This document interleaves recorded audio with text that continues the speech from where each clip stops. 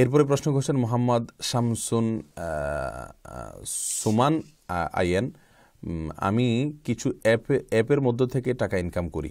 যেমন একটা অ্যাপ অন্য মোবাইল ইনভাইট করি। ইনভাইট করার ফলে ক্যাশব্যাক পাই। এ টাকাটা হালাল কিনা? যদি আপনার হাতে সময় থাকে বলবেন। আমি ভারতের ত্রিপুরা থেকে। দেখুন মোহাম্মদ সুমন ভাই আপনি যদি কাউকে শুধু ইনভাইট করেন কোনো অ্যাপের দিকে, আর সেই অ্যাপটা যদি খারাপ কিছু না হয় তাহলে এর মাধ্যমে আপনি যে উপার্জন করেন সেটা অবশ্যই হালাল হবে, কারণ আপনি কোনো অন্যায় কাজ করছেন না। আর যদি সেই অ্যাপটি হারাম হয়, খারাপ অ্যাপ হয়, তাহলে তার দিকে আপনি যদি আহ্বান করে থাকেন, সে আহ্বানের ফলে কিন্তু আপনি গুণাগার হবেন, কারণ আপনি একটি অন্যায় কাজের পথ দেখিয়েছেন। এরপরে প্রশ্ন